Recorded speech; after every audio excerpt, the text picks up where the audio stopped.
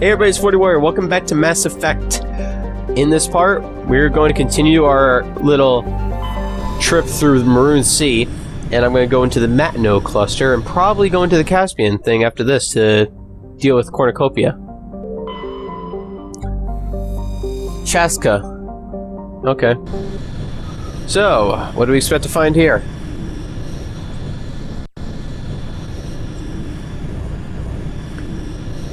Remember, there were three things. Was that Voyager one? So this might be a Cerberus one, actually. Yeah. Let's go the Femme Fatale route again. Everybody tell, everybody's like, um, you know, people have their certain comments. I guess you could say my favorite, my favorite team, this Let's Play, I'm learning, is turning out to be, um, Liara and Tali. Because you get one that's completely is excellent with crowd control and, you know, disabling enemies very quickly. And the other one is not too bad herself in uh, disabling any machine and whatnot. And I guess, uh, yeah, they did level up. Master Overload for Liara, and for Tali. You're getting Carnage. Oh yeah, derp. Oh, I remember this one. Civilian structure, civilian structure. So, there are two civilian structures in a science facility. And I think this also deals with Thorian Creepers and Cerberus. We'll find out, though. You figure it'd deal with Thorian creatures if, um, it was mentioned in the, um, logs on Feros, which it was. So I guess it makes a lot of sense. So, um... Yeah, I've been dealing with interviews and everything. Still trying, you know, just trying to get that one break, but it kind of sucks, because you know a bunch of that stuff is political as well. And I'm not the smoothest talker in the world, so it kills me every time I try to, you know, interview. But, I'm probably gonna... We'll see what happens, I mean... No one got anywhere by having negative thoughts through, um, an interview. Oh, don't fall, don't... Thank you. That happens, I have to restart the thing, I don't want to do that. So yeah, just, it's just a very trying time, you know. Not so much... What happened? Not so much mentally, you know, I've got a bad feeling about this. You're not the only one. You're not the only one.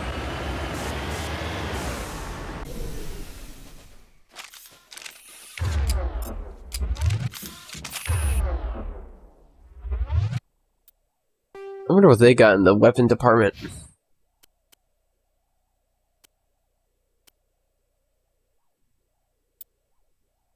And Tali, your shotgun. Okay. It, it's not so much a trying time just for that. It's a trying time because you know you really want to nail a job just so you don't have to worry about it for the rest of your, you know, for a little while. Because that's basically where I'm. That's where I'm at. You know how it is. It's like they have your balls. It basically they have you by the balls, and you're constantly pressing yourself trying to get, trying to get somewhere. I sense trouble. Husks. Are you kidding? Geth was. Now the only thing we need to find is that Geth was here.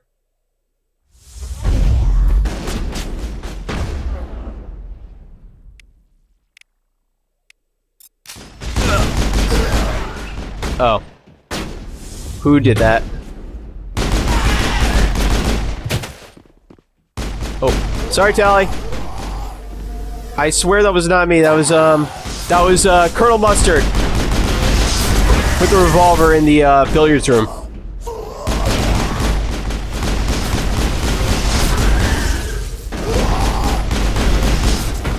Man, this is getting kind of brutal. And how do they have such high shields?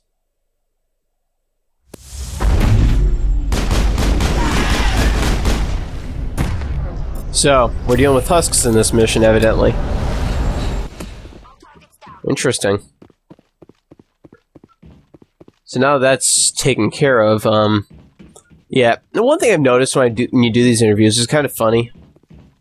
Eh, how much bullshit is. You know, you think about it, it's like you think of interview. What do you think? of? Tell me about yourself. What do you want to do in five years? What are you going to do? And you have to sound so fruity when you answer. I want to be a contributing member of the team. I'm going to grow in the company. I am the perfect person you're looking for. I hate selling myself. You know, the way I sell myself is this: look at my stuff. Look at what I've done compared to others. That's the best way. It's that's the best way in a results-driven environment. That is the best way. Colony of the Dead.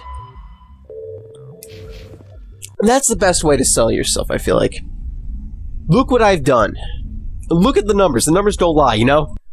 Very statistical. That's basically, that's uh, sort of what I do with, um, I'm a stats freak, and, um, I'm a stats freak when it comes to sports, so that's the an argument I use all the time. Look at the numbers. You say you want this guy. I'm telling you right now, you want this guy. It's like Moneyball almost, you know?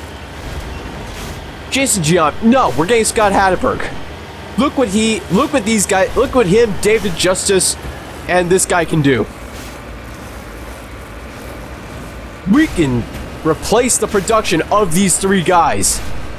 Even though everybody else will laugh at us. Goddess have mercy. The entire colony must have been transformed. Dragon's Teeth. Dragon's Teeth, and you know what to do when you see Dragon's Teeth? Don't drive into them.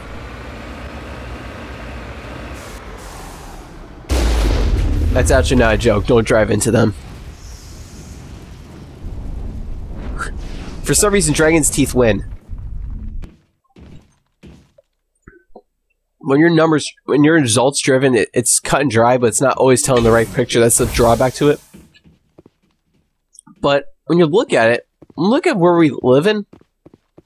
Where isn't it about um, you know, what the person has done? You having a proven track record is such a huge help.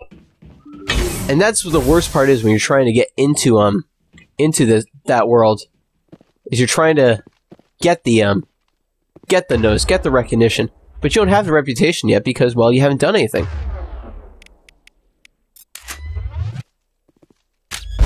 Nice! One hit carnage kill. It's a one hit KO! Husk fainted.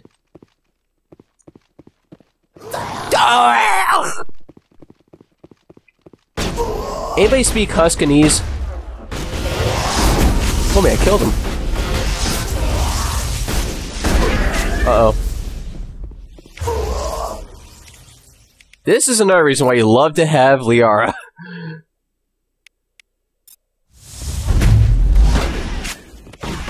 Don't stop believing.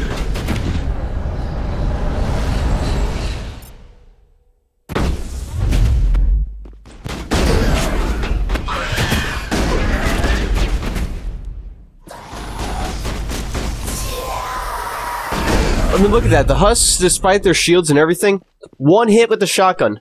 Down for the count. I mean, that is awesome. See, that's numbers driven right there. That's results driven right there. You say, no, I, I would use the assault rifle on them, and, well, if I had an assault rifle, I probably would tell you the truth, but you know what? I use? Use the shotgun because it is proven to knock down a Thorian creeper on his butt! You can't argue with that! See what I mean? And there's absolutely nothing in this room. But there is an exclamation point here, which is interesting. And a lot of stuff. Nexus and Cipher Tool. What have we got with them?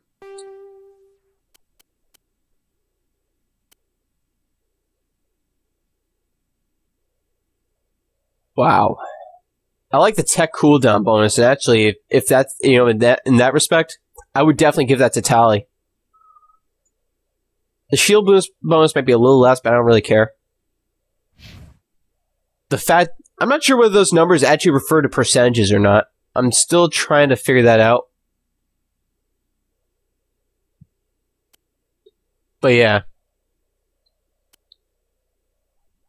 a bunch of good ones now. Oh! Oh! Oh! Oh! Oh! Oh! Oh! Oh! Oh! Allow me to introduce the best biotic amp type in the game. It's the Savant. Look at the numbers. I said it again. Look at the numbers. This thing, if you get it, oh, man, look at what you're seeing here. It made the Polaris look inferior. Inferior. That's why. Razor 7.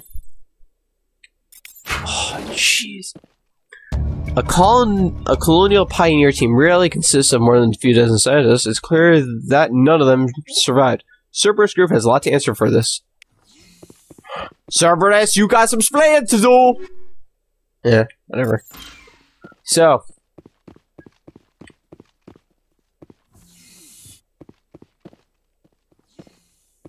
Okay, I think, um... We've checked for clues, we got clues. And the other place probably would just be a bunch of, um, husks, you know, a husk attack.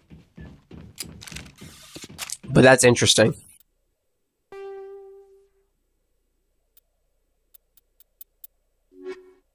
So Cerberus had a hand in this too, huh? Well, I'm going to actually, you know, meet you back on the Normandy. We're going to Cornucopia. And we're back. We're going to Cornucopia this time. And what we find here, we don't know. Cornucopia is a Kowloon class modulator conveyor of human design. While obviously adrift, Cornucopia is not broadcasting a distress call. I smell Cerberus and husks. Again.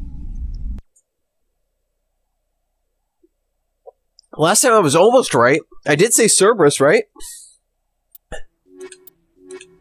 There's no partial credits in. Let's Playing, though. So I'm going to do is I'm going to bring the uh, Wrex and Garrus, because I'm not sure what to expect. That's got a bunch of good stuff, so maybe I can give um, Wrex some. You know, Garrus has some really good things, yeah. Uh, Crossfire is actually really good. Crossfire is actually really, really good. But you know what? I'm gonna switch it. I'm not gonna. I'm gonna sell the Thunder. I should get some good stuff for that. You are gonna get the. You can keep the shotgun actually. I already improved your. I'm gonna improve your Polaris. I already gave you the uh, God of all armors.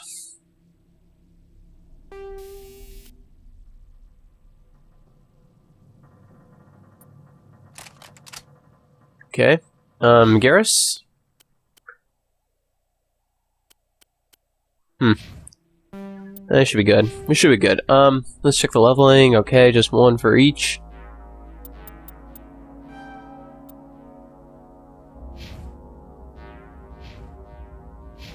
We are all set. Let's go. Right here. Right now. Right here.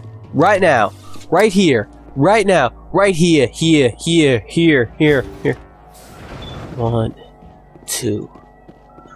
Dun dun dun dun dun dun dun dun. Hostiles where?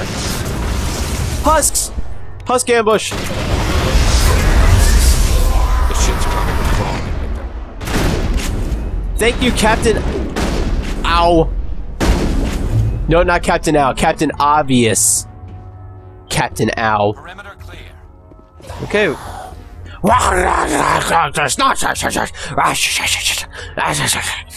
Why am I doing that? I don't know. I just feel like doing it.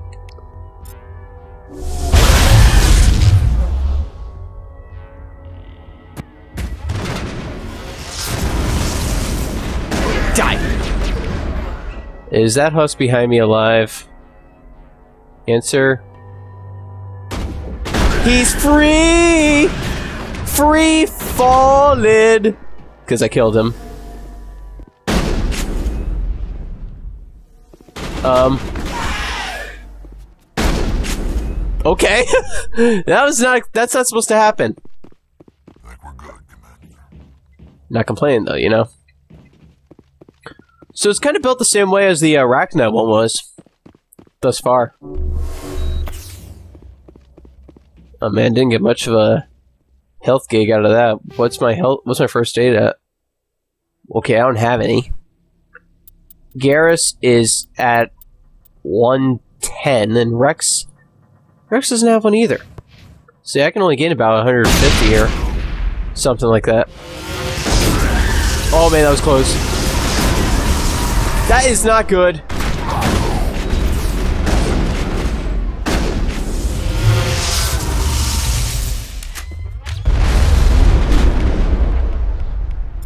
That is not good.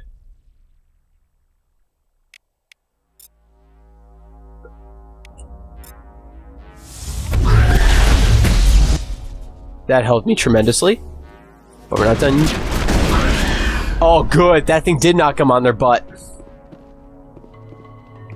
Man, oh man, oh man, was that close. But there's more!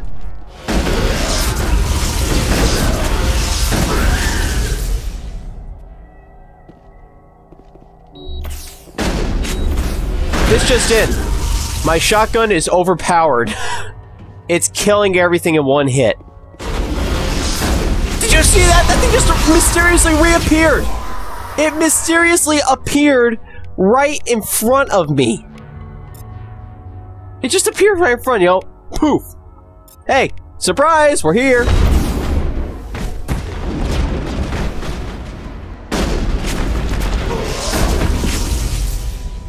That was creepy!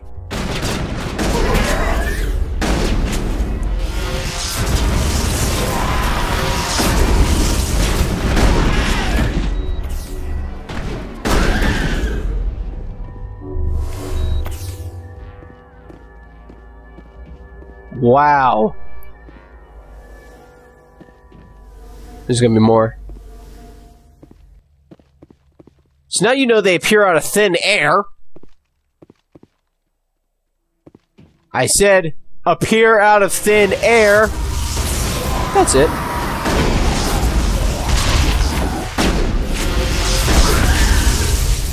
Cleara, why didn't I bring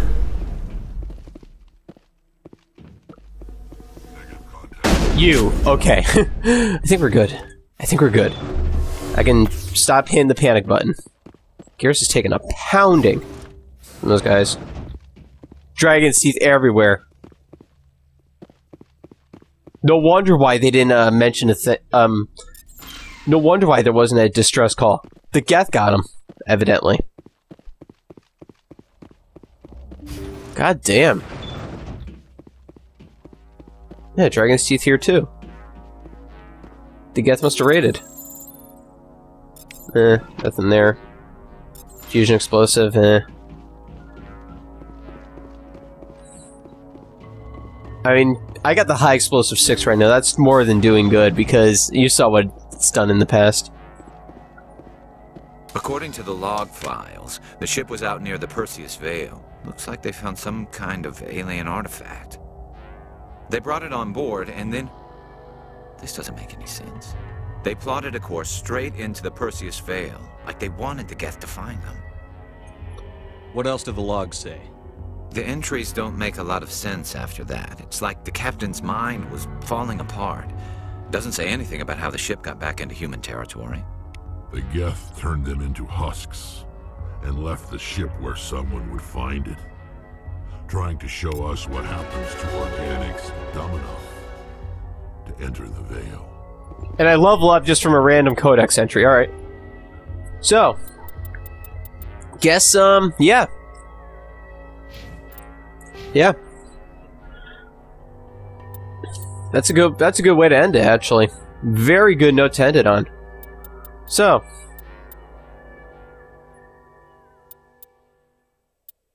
Having done quite a bit of stuff,